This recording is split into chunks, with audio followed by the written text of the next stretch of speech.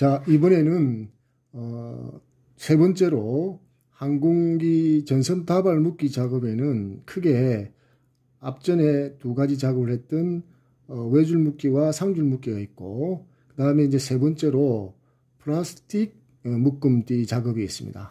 보통 우리가 케이블 타이라는 작업인데 어, 이렇게 플라스틱 묶음띠가 있습니다. 케이블 타이라고도 보통 이야기하는데 그래서 어, 요 작업에 대해서 어, 한번 진행을 해보도록 하겠습니다. 간단합니다.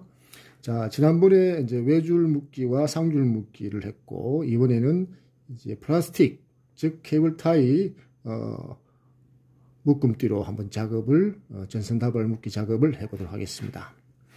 자, 보통 우리가 가정에서도 많이 사용하는 건데 항공기의 전선다발을 어, 묶는 데 있어서 여기 있는 그 플라스틱 묶음띠의 요 머리, 요 머리 부분이다 그죠? 요 머리 안쪽이 있고 바깥쪽이 있는데 자, 요렇게 작업을 합니다. 요쪽 면에서 들어가야겠죠. 네, 이렇게 들어가서 쫙 소리가 나, 나듯이 딱 잡아 당겨 줍니다. 그래서 어, 전선 다발이 딱 이렇게 묶을 수 있도록 딱 고정을 시켜줍니다. 자, 여기서 우리가 주의해야 될 것은 이 플라스틱 어, 묶음띠의 요 머리 부분과 요 끝단 부분이 이렇게 있는데 이 끝단 부분을 잘라줘야 됩니다.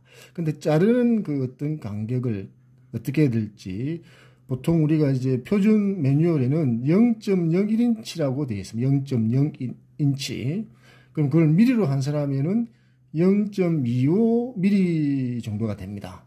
그래서 0.25mm라는 것은 아주 짧은 어, 간격입니다. 그래서 어, 결론적으로 요 플라스틱 묶은 머리에서 요 끝단에 있는 요 놈을 그진 어, 날카로운 부분 없이 어, 바로 싹둑 이렇게 자른다고 보시면 되겠습니다.